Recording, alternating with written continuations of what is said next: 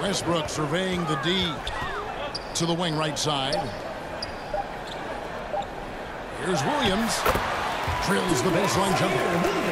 That's a guy you want taking shots, a quality offensive player.